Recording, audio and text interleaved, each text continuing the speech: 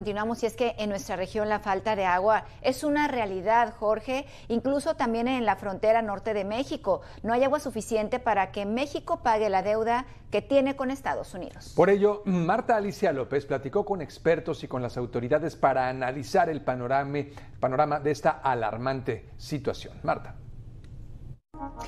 Casi 100 años del Tratado de Aguas Internacionales firmado entre México y Estados Unidos, se está viviendo la peor etapa entre estas dos naciones por la falta de agua urgiendo al gobierno de México que pague la deuda de agua que debe al sur de Texas.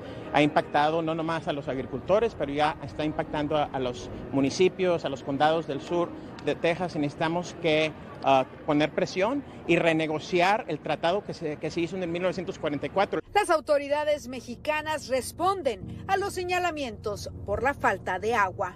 El problema ahorita no es un problema de incumplimiento, es un problema de escasez, de, escasez extrema. Tenemos ocho años con sequía extrema prácticamente en Tamaulipas y creo que en el sur de Texas es, es la misma situación. La falta de agua no solamente es por la sequía que se está viviendo en los dos países, sino también por no distribuir el agua de los ríos tal y como se pactó en el tratado. Esto de acuerdo a los expertos. Hemos visto es de que desde el quinquenio de 1992 a 1997 es cuando empezó este esta problemática de que no han podido cumplir con el requerimiento de cinco años cada cinco años. El bajo nivel del agua en las presas es alarmante y ya se puede considerar una crisis.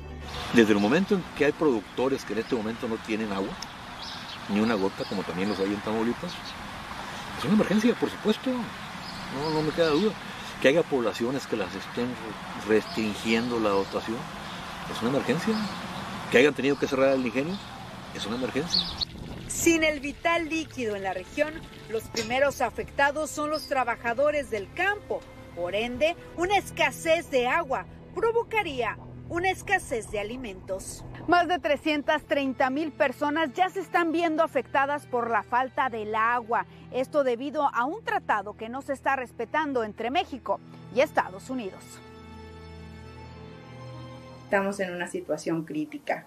Sí, sí necesitamos poner mucha atención en esto porque de nuevo, si no hay siembra, pues no hay cosecha y ahí nos va a afectar en todos los mercados. Esto es el principio de una cruda realidad que se está viviendo por la escasez del preciado líquido que es el agua.